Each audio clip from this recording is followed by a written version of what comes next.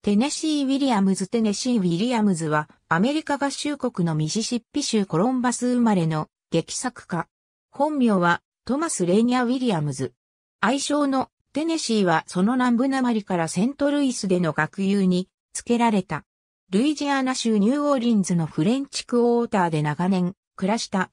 牧師の祖父、音楽教師の祖母、両親、姉弟と共に祖父の牧師館で育つ。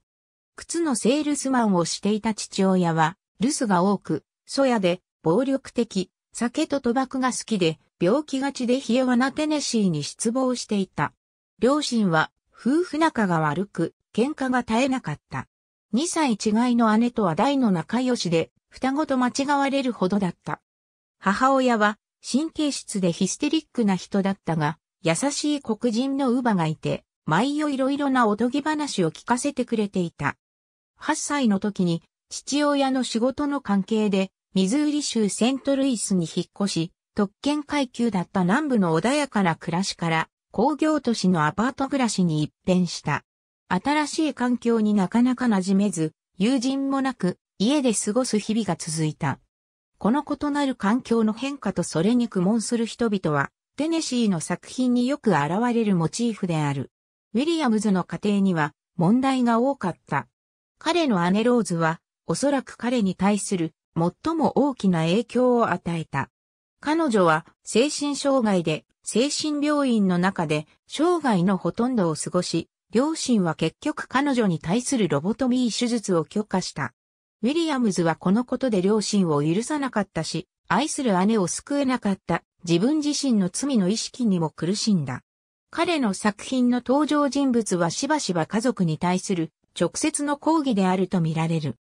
欲望という名の電車のブランチ・ディボは、ガラスの動物園のローラ・ウィングフィールドは、姉のローズ、アマンダ・ウィングフィールドは、彼の母親がモデルであるとされる。また、去年の夏突然に、のセバスチャン、ガラスの動物園のトム・ウィングフィールドを含めて、彼のキャラクターの多くは自助伝的である。彼はゲイだったことで知られている。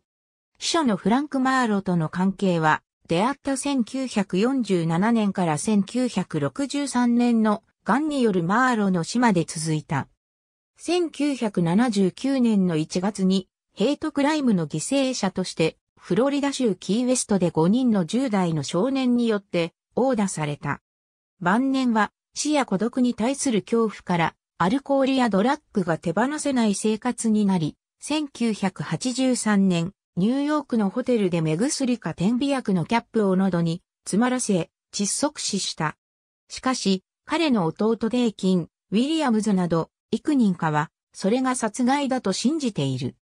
テネシー・ウィリアムズの破壊死死後、遺体はハート・クレインが亡くなったカリブ海に散骨してほしいという趣旨の遺書が発見されたが、弟デイキンにより1980年に死去した母、エドウィナが眠るセントルイスのカルバリー墓地に埋葬された。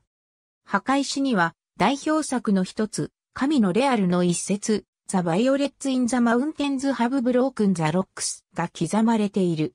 後に、1996年に死去した姉のローズ、2008年に死去した弟デイキンも同じ墓地に埋葬された。